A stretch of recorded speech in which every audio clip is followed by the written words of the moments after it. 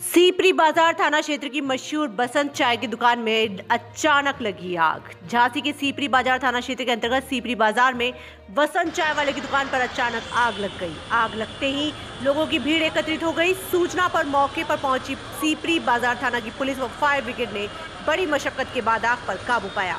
जानकारी के अनुसार कुछ लोगों का कहना है कि सिलेंडर लीक होने से आग लगी और कुछ लोगों का कहना है कि आग शॉर्ट सर्किट से लगी। फ़िलहाल समाचार लिखे जाने तक आग लगने का कारण पता नहीं चल पाया है।